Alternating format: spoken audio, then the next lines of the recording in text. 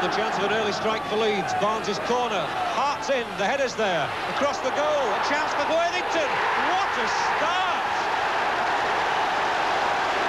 Oh, what a start!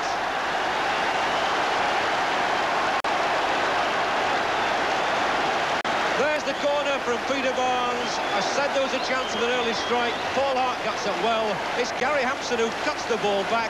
It falls straight for Frank Worthington. Whack!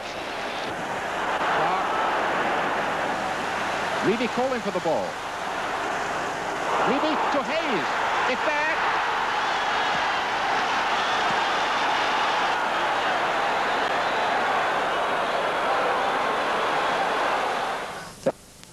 What Don McKinnon was